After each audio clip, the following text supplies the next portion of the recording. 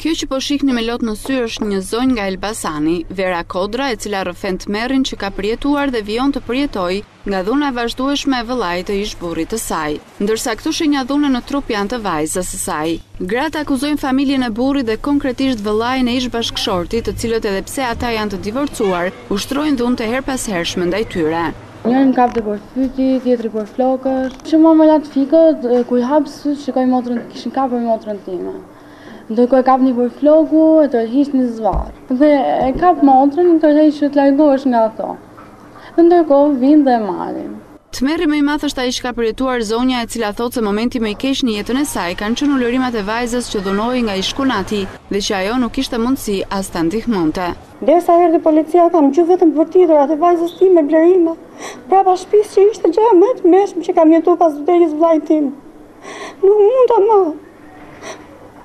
Ishte tmerr kur kam dalë para vajza ishte e gjakosur komplet, me hundë me gojë komplet. Shpia ishte gjithë gjak.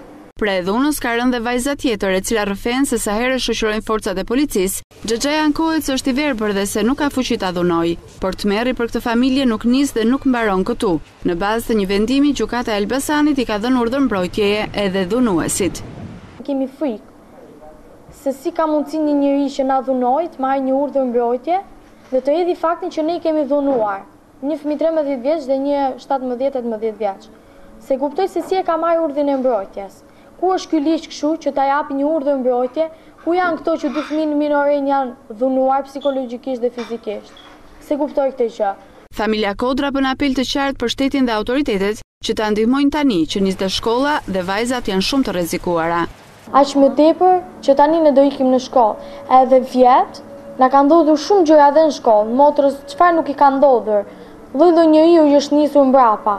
Lloj lloj. Vllai gjithashtu që e kërcënojnë, ne e dimë ne e dimë normale që ato i kanë nisur, sepse pse kur ishim ato ato nuk na lunte njeri. Gjykata pas deklarimeve të dhëna nga palët në polici, ka vendosur të japë urdhra mbrojtje për të dy.